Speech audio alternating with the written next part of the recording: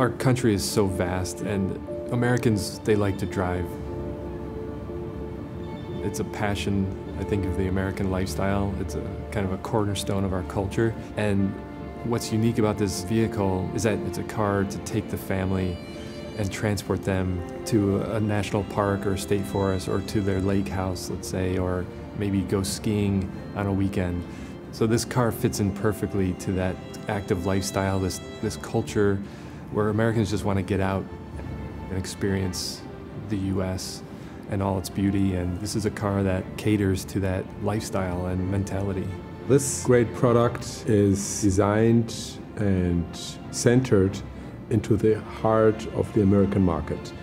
Up to now, we are more known as a small car company. And now coming with this midsize SUV, it's a product which is really giving the brand uh, a coverage which it did not have before. The CrossBlue concept gave us quite a good feedback. Nevertheless, we changed this car to be bigger and bolder for what the US customer expect. The midsize SUV is much different from what we've seen before. It's a seven passenger vehicle. It'll be full of functionality, have a fantastic third row seat, easy to get into and easy to exit as well with that very functional second row seat. The market here in America is so big and uh, the Volkswagen brand fits so perfectly into this market, especially with the heritage of the brand going back to the Beetle and, and the microbus, it's a great opportunity to continue that story on a broader and, and stronger basis.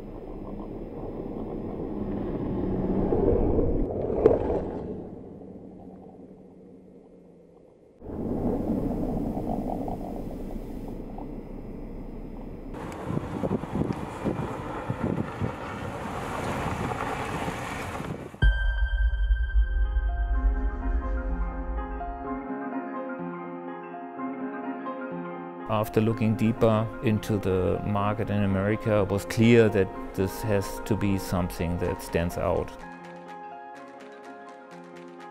For us, it was a really important uh, project because the car is special for the US market and we wanted to be bold, big, but in the other hand as, as well beautiful.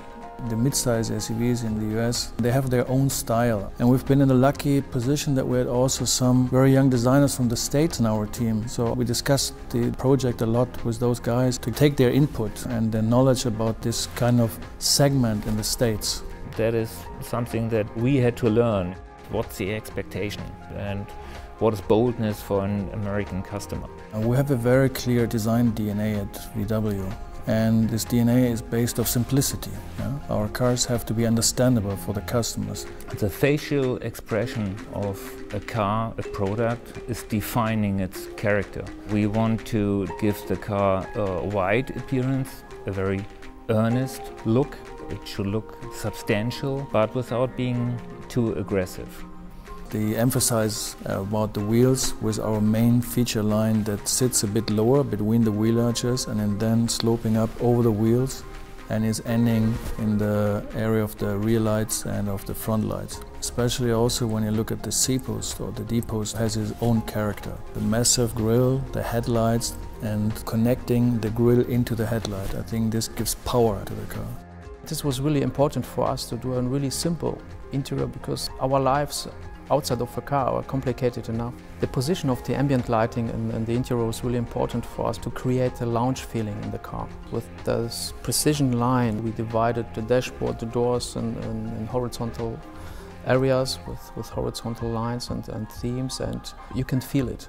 That everything is well balanced, that there are no complicated corners. It's really important that you feel really well. You know, this is your car, you know, you bring your, your family into the car as well. So this is your home, you know, you bring in it. And you need as well from us a, a kind of basic environment that you feel really comfortable. It's, it's a machine that, that delivers freedom.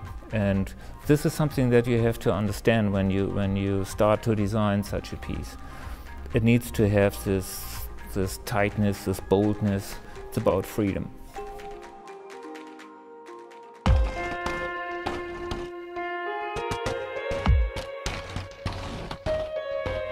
There's an old saying, it takes 20% uh, of the time to do 80% of the work, and then 80% of the time to do the other 20%. And that 20% is a lot of fine tuning, a lot of fixing small things to make the vehicle a lot better. As a part of our product design process, the purpose of vehicle testing is to achieve subjective and objective data on vehicle performance conducted through real-world environment conditions. With a prototype vehicle, a lot of the problems have not happened before. It takes a lot of people and with a lot of expertise to find the root causes of some of these problems and that's what we do here. We help to fix these problems before the vehicle reaches production so it's going to be a really strong vehicle for the American market. There are some difference tests, uh, they're cold weather and hot weather testing, to identify any functionality limitation under extreme temperature conditions. And the durability testing, it's like a quality check, and it starts with the simple part and ends in the entire vehicle, and as well as competitor analysis. Uh, high mileage testing that we do is we put a lot of miles on the cars in a very short amount of time, running three shifts of drivers along with data loggers and the full load to see how the vehicle is going to do at say 60,000 miles, 70,000 miles. All this is done before it gets into the customer's hands. That way we can fix durability problems that would be long-term that aren't caught in short-term testing. Now we drive the car on the road and uh, besides the road to make some functional testing and to make a check how performs the, the chassis and the engine before the customer gets the car. Extensive testing on the vehicle is done in the U.S. to be able to ensure that it will provide, whether it be in the mountains, whether it be in different, uh, different road surfaces, or even being able to pick the family up and take them on a long vacation at a moment's notice. This vehicle has been tested specifically with that in mind for the American consumer. Testing is so important to guarantee that Volkswagen can build vehicles like the Atlas with top quality standards to achieve the highest customer satisfaction.